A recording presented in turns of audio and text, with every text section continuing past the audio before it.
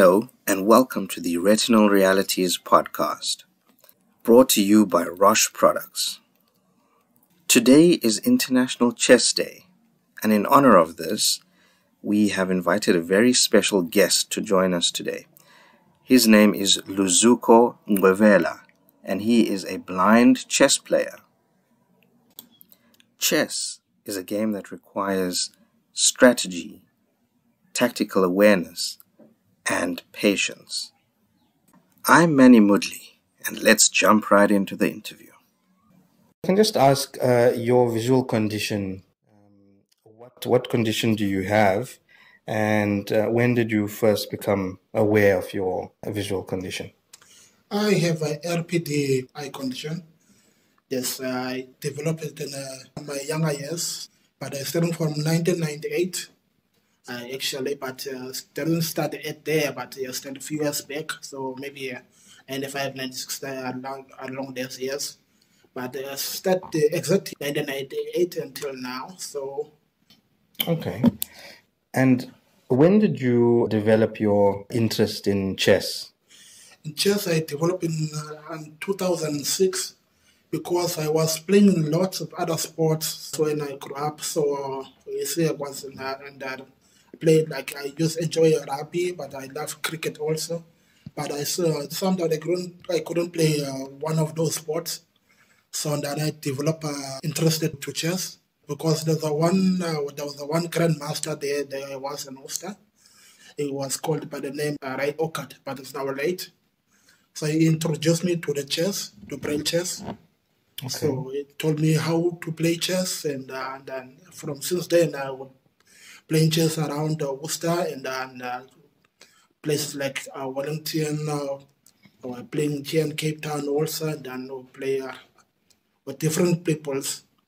So some are sighted, some are not sighted. So yes. Okay, yeah, that was my next question. Did you play against sighted or non-sighted or uh, both? Yes, I play with both. Okay. Sighted and not sighted. Okay, and do you play competitions as well uh, in your chess journey? Yes, I do play uh, some competitions on my ch- uh, chess journey. So, yes. Okay, and, and, and these competitions, are they made up of both sighted and visually impaired? Yes, I do. All right. And your board, do you bring this along with your special wooden chess board to tournaments? Yes, I do provide. Uh, I bring my board all, uh, uh, wherever I go to the tournaments. But wherever there's, if you don't have a board, the organizer would uh, organize the, the tournament. They also have extra board set. So for the extra player doesn't have his own board, so they borrow the board for the for the day. Okay, so so would you say then the the chess competitions are quite accessible and uh, accommodating of people with visual impairments or blind people? Yes, there's a braille area also in the in the tournament. They call it they call the braille sections on the tournament. There's a one that says section and the braille section. So they, they divide it to, to two sections in the one tournament. If the tournament, if there's a lots of people, they divided the tournament in two divisions. Okay. Okay, that's good to know. Now, Luzuko, what devices do you use in your everyday life that uh, you find useful? Uh, it's uh, I do my Skype and I have uh, my talkback on my phone. If I have a computer, I will have a, a JAWS or NVDA, one of those two. So it will be fine if to, to use this. No, that's uh, very helpful. So you, you play chess uh, over Skype as well? Yes, I do play chess over Skype also as well. Okay. And which do you prefer, face to face, physical, or the virtual chess? Um, both are very interesting. So, mm. but when you play over the board in the tournament, you get to know the peoples and you get to know, uh, you meet friends and they're so small.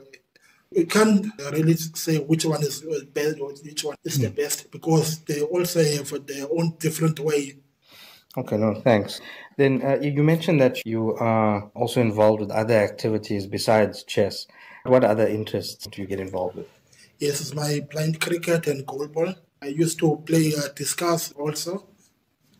Other sports I do it not. My mom is goalball and chess and cricket. Okay. Blind cricket is. All right, okay, great. And do you have any message for our listeners that which you think would help them in their day to day lives? Yes, I will advise them to believe in themselves and to seek for help if they want to, because they won't get help if you sit on one place. And because the, help is out there, but you have to, to stretch out and go to find places. Because now in this years, there's a lots of places where the blind person can be helped. There's a lots of schools now. There's a lots of organizations that can help a person with a blind problem. Okay, and your brother is with us today, uh, Sivu. He, he brought you along to the interview. What, what would you uh, say in terms of your support system? Do you find that you get a lot of support from family, friends, community, and, and that sort of thing?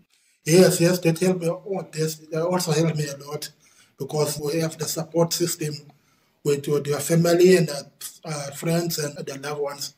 Yes, because they have to assist us from point A to point B. So yes, you have to. Okay. No, thank you very much, Luzuko. It's been wonderful to chat to you.